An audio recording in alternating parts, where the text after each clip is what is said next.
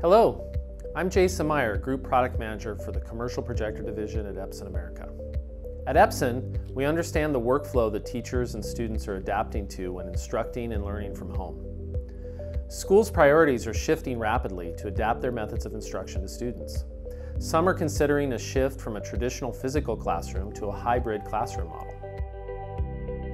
With a hybrid classroom model, teachers will need to collaborate, share content, stream live instructional video, and even share documents and other physical instructional materials simultaneously.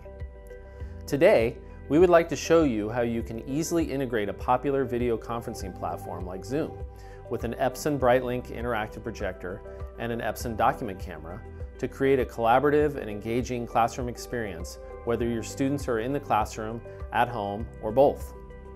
First, let me explain the setup. Here is my PC connected to the BrightLink, and here is an Epson document camera also connected to the PC.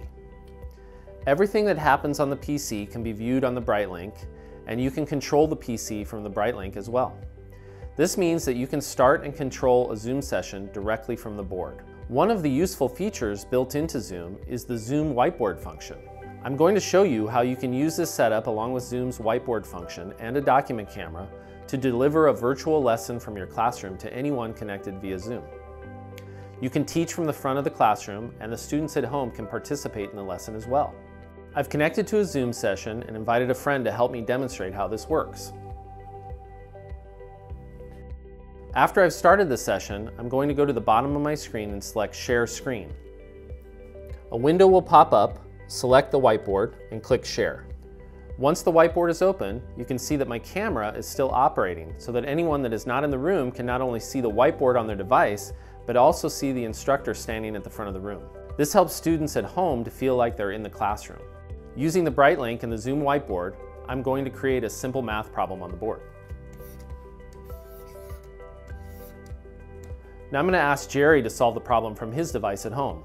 Hey Jerry, go ahead and solve the problem on the board. You can see as Jerry is solving the problem and everyone in the classroom can see what Jerry is writing on the board. This can be viewed on any of the devices in the Zoom session and on the BrightLink at the front of the classroom. Now that I've shown you how you can create a simple collaborative whiteboard session, I'm going to show you how to introduce a document camera into the lesson. I have here the Epson DC13 document camera.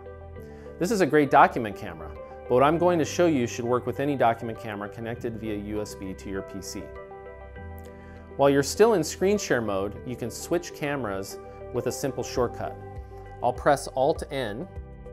Since my document camera is already connected to my PC, this will switch to the document camera view. Now I'm going to stop sharing so we can see the document camera in full screen. Now I can use the document camera to introduce other visuals into the lesson.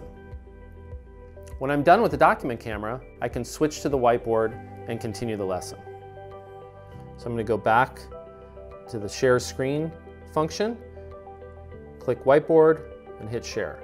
And whether you're in the classroom or at home, you can see it all on your device or at the front of the classroom. And that's it.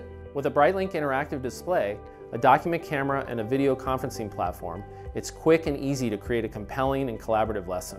Whether you're looking to create a hybrid classroom or just looking for a virtual classroom instruction alternative, this is a solution that is available today.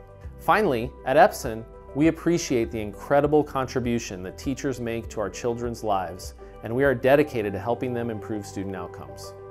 We hope this video will help as you are adapting to the new realities of hybrid and virtual education. Thanks again.